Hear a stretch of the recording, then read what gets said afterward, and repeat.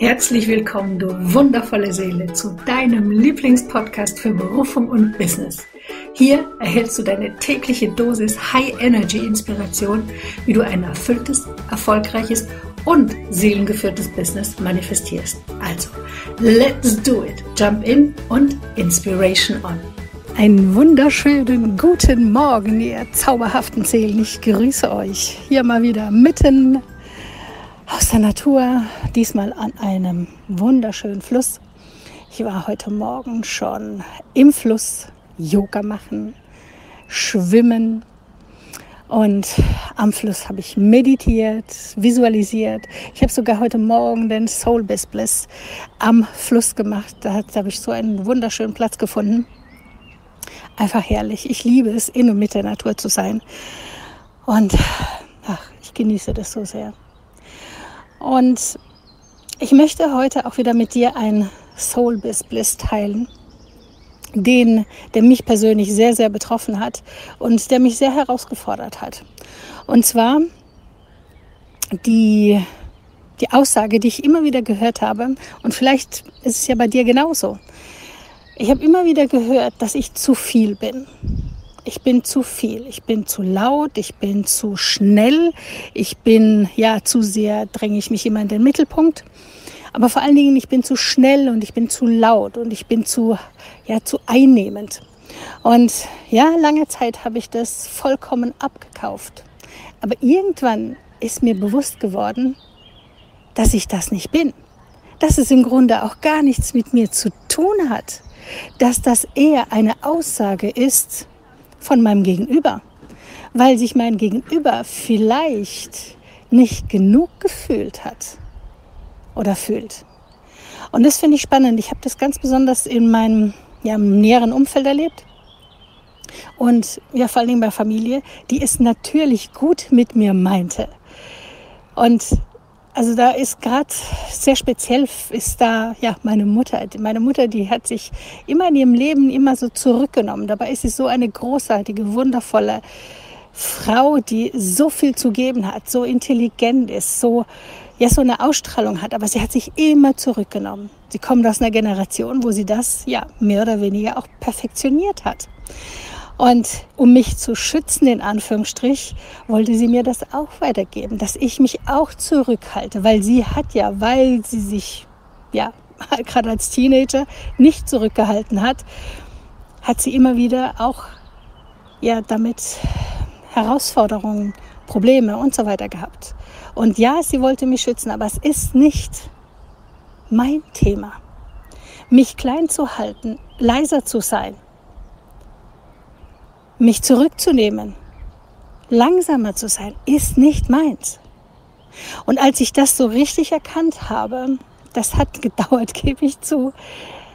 Damals habe ich, das ist schon ein paar Jahre her, habe ich eine klare Ansage an meine Familie, mein Umfeld, meine Freunde gemacht, dass ich nicht mehr bereit bin, mich zurückzuhalten, dass ich nicht mehr bereit bin, langsamer zu sein, dass ich nicht mehr bereit bin, leiser zu sein. All das bin ich nicht mehr bereit. Ich bin so. Ich bin wild. Ich bin Feuer und Flamme. Ich bin leidenschaftlich und ich möchte auch genau das leben und mich genauso zeigen.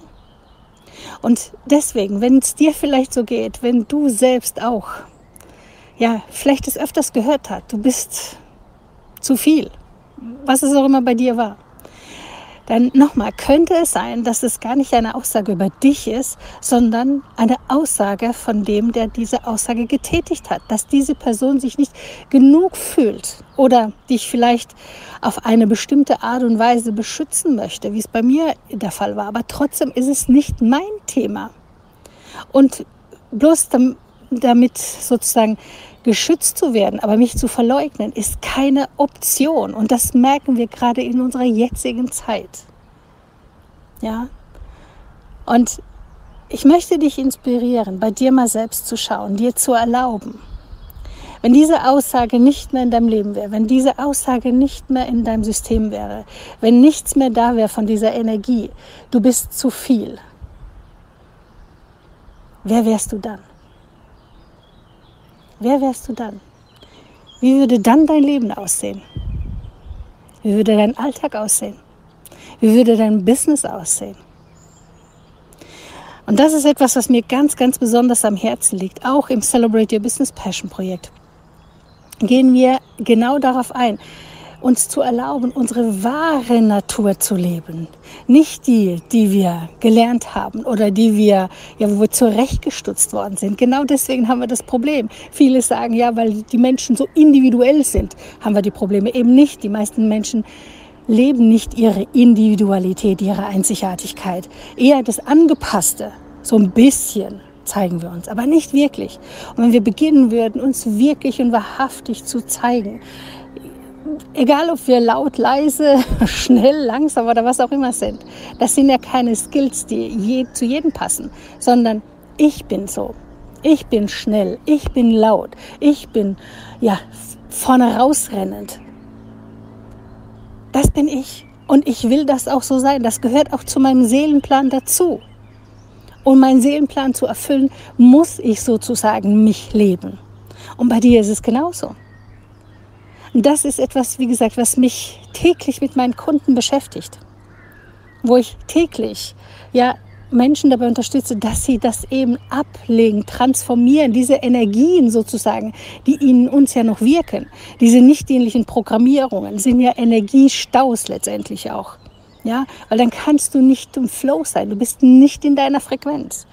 Und deswegen, das zeigt sich natürlich auch im Außen dann, in bestimmten Bereichen, ob das keine Ahnung, im Business ist oder mit den Finanzen oder was es auch immer ist. Also, wer wärst du ohne diese ja, Programmierung? Stell dir mal vor, du erlaubst dir wirklich vollkommen du zu sein, so wie du wirklich sein willst. Wie fühlt sich das an? Großartig, oder? Und genau dafür stehe ich. Und ich liebe es zu sehen, wie Menschen sich entfalten, entwickeln, wieder in ihre Macht kommen, ihre Schöpferkraft benutzen, sich nicht mehr zurückhalten, ganz klare Entscheidungen treffen und bewusst für das gehen, was ihnen am Herzen liegt. Und das Geile ist, dass immer dann auch dieser Shift kommt zu erfüllendem Erfolg, auch im Business. Das ist nicht nur etwas, was du für dich in Anführungsstrich machst, sondern je mehr du das dir erlaubst, du selbst zu sein, das hat auch immer Wirkung. Du bist ein Energiefeld. Und du strahlst immer Energie aus. Das heißt, wenn du in deiner Kraft bist, du in deiner Energie, wenn du fließt, dann dehnt sich überhaupt dein Energiefeld eh noch weiter aus. Und du inspirierst auch die Menschen in deinem Umfeld, deinem näheren und weiteren Umfeld, auch mehr in ihre Kraft und Macht zu kommen. Ist das nicht genial? Also ich finde, es wird Zeit, dass wir einfach diese ganzen Programmierungen, die wir, ja, die wir einfach übernommen haben. Und das ist ja nichts Schlechtes. Grundsätzlich sind ja Programmierungen gar nicht so verkehrt. Das Spannende ist halt immer, wie sind wir programmiert? Ja. Genau. Und wie gesagt, das sind Themen, mit denen ich mich beschäftige. Und wenn du ja, auf deinem Weg Unterstützung möchtest, lass uns über deinen Weg sprechen. Wo möchtest du hin? Ich weiß, dass hier einige dabei sind, die ja gerade so dieses Thema Leadership der neuen Zeit in sich tragen, Leader der neuen Zeit sind und sich aber noch nicht so richtig trauen, diesen Weg zu gehen. Lass uns über deinen Weg sprechen. Lass uns darüber sprechen, wie, ja, wie ich dich dabei unterstützen kannst, dass du eben deine Einzigartigkeit lebst, sie mit der Welt teilst und endlich anerkennst, dass du, so wie du wirklich bist, das größte Geschenk bist. Nicht nur für dich, sondern auch für dein Umfeld und für deine potenziellen Lieblingskunden, weil da draußen gibt es ja irgendjemand, nicht nur irgendjemand, sondern eine Menschengruppe, die genau das braucht, in Anführungsstrich, was du zu geben hast. Ja. Genau, lass uns über deinen Weg. Melde dich gerne, schau einfach mal auf heidimariewellmann.de-aktuelles vorbei. Da findest du ja alle aktuellen Angebote. Und ich freue mich auf jeden Fall, dich weiterhin inspirieren zu dürfen. Aber ganz besonders freue ich mich, wenn ich dich dabei begleiten darf, dass du in die Umsetzung kommst, dass du das, was du eh schon weißt, umsetzt und erblühst. mit deiner Einzigartigkeit. Also, hab eine fantastische Zeit, lass es dir gut gehen und bis bald. Ciao.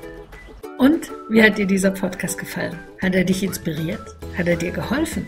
Ich bin echt neugierig und freue mich riesig über dein Feedback, auf deinen Gold Nugget aus dieser Folge und ganz besonders auf deine Bewertung dieses Podcasts.